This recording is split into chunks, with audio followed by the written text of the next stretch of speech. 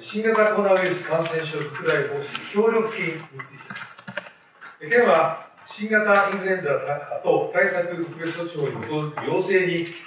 協力していただいた事業者に最大30万円の支援を行い、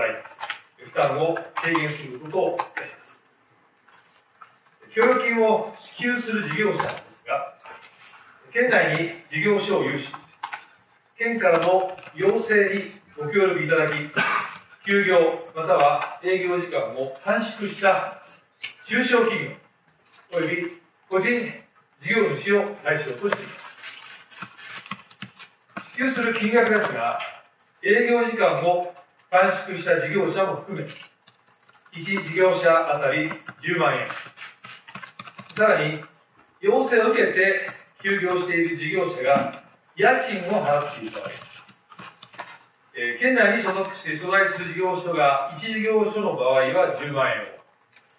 県内に所在する事業所が複数事業所の場合は20万円を加算して支給することを。申請期間は5月7日から5月末までの予定であります。